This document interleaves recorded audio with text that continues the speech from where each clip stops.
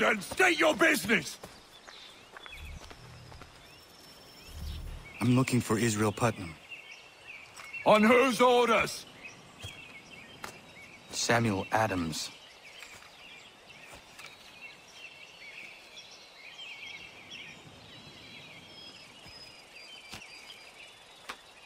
Follow me.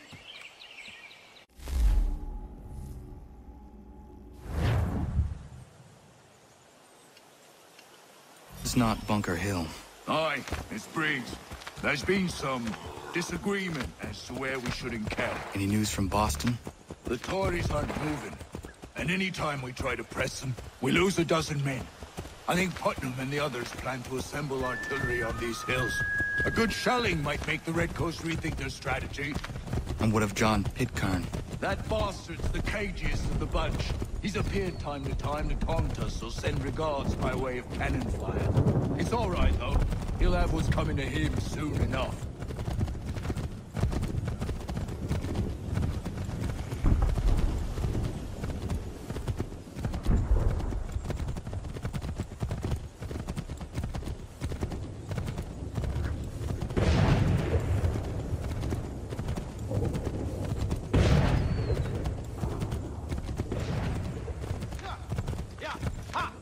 Putnam's just up ahead. You can't... How much for your excuses, gentlemen? Should be building on Bunker Hill. Breeds is closer to the city, but it is also closer to their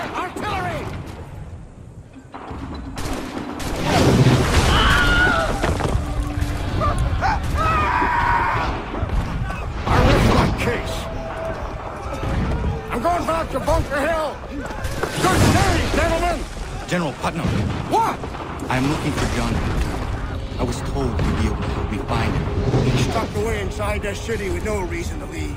As long as that ship continues its assault, we'll never flush him out. But if the ship was silent, Oh, then John might be forced to get off his arse and come forward. I shall fly this flag to signal my success. And I shall speak fondly of you at your funeral.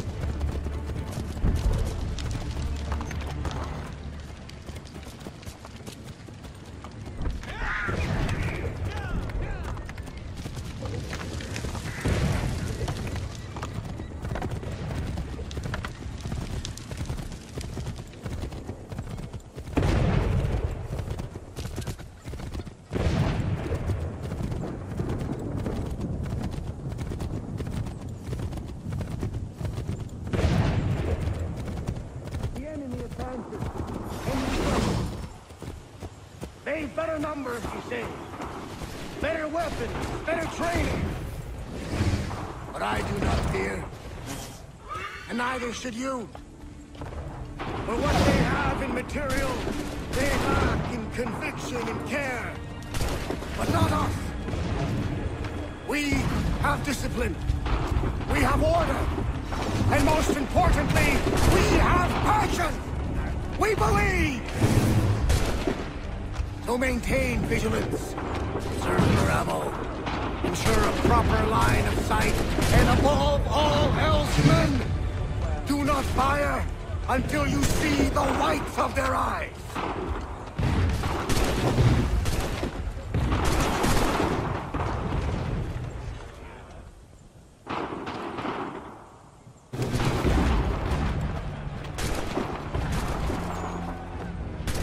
I'll be damned. That was quite a speech. Lies, all of it, I'm afraid. Still, such words have carried us thus far. And what of Pitcairn? He's left Boston, as I said he would, and set up camp on Bolton Hill. It's no good way to get at him. Not with that maelstrom brewing down below. I suppose you could circle around a bit wait for us to thin their ranks.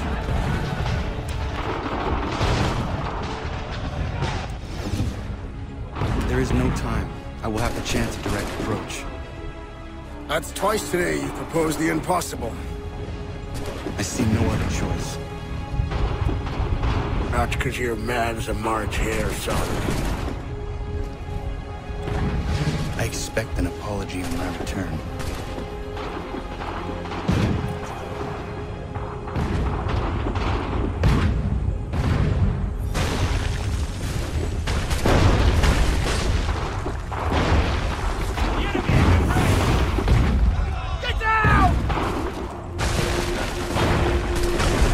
Get down!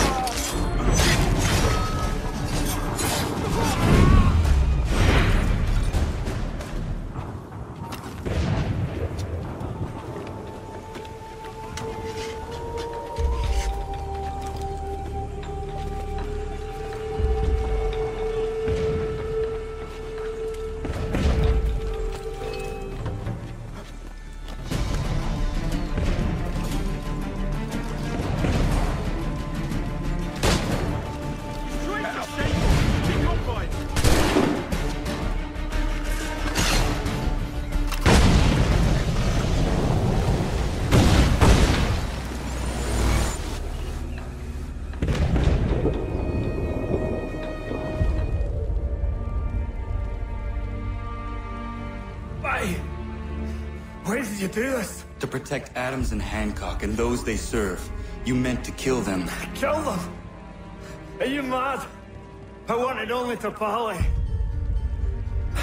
There was so much to discuss. To explain.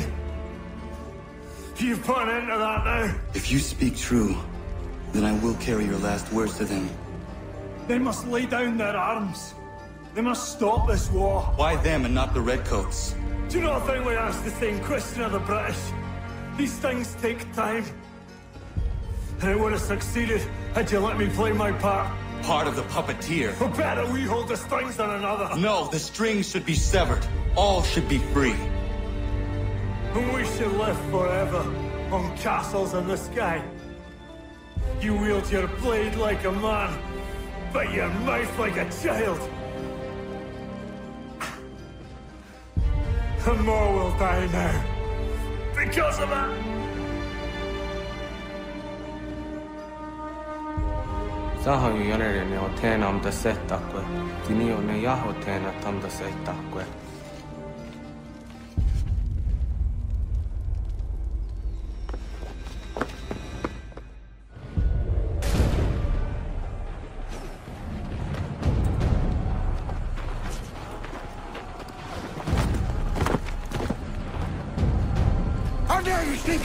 like that? Why don't you just go out there and just help this camp retreat?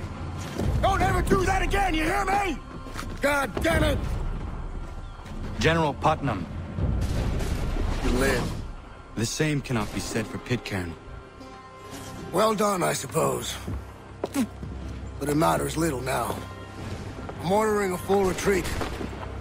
We have lost too many in exchange for too little. If the Tories want this hill so badly, let them have it. Boston is the true prize. We have a bigger problem. What do you mean?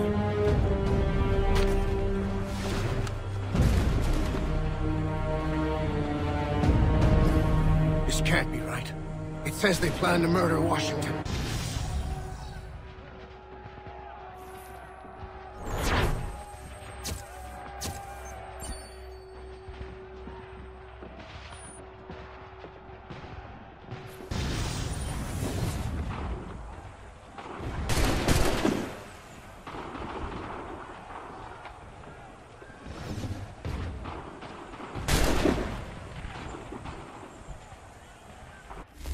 My enemy is tenacious.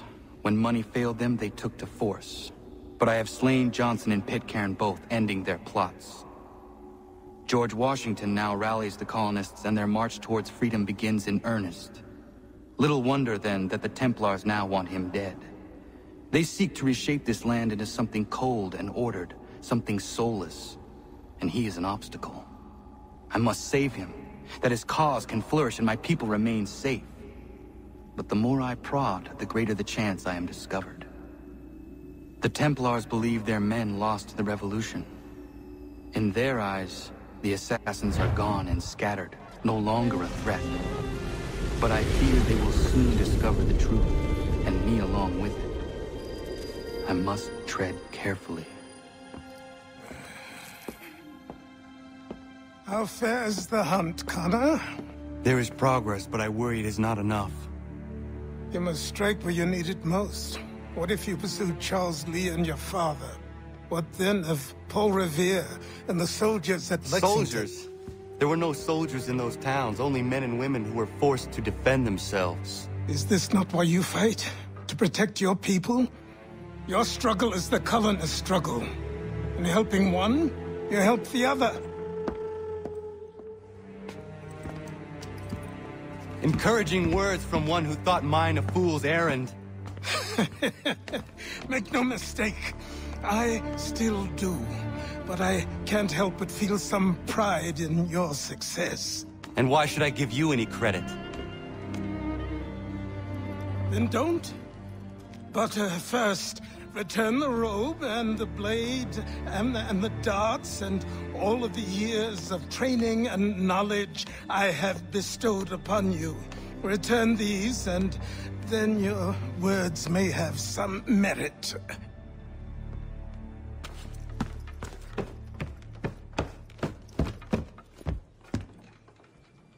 Or you could just admit that you are wrong. Oh, child, please, you've killed two men. One more salesman than soldier. You're gonna have to try a lot harder than that to impress me. Is that so, old man? Or perhaps we should step outside. I will gladly demonstrate how easily I could trounce. Connor, this is Benjamin Tallmadge. His father was one of us, no need for secrecy. I think he has something he wants to say. Achilles tells me you've uncovered a plot to murder the commander-in-chief. Yes, but I have only false starts and dead ends to show for it. Not anymore, my friend. Thomas Hickey's your man, and I aim to help you catch him. How? I'll explain on the way. You and I are going to New York.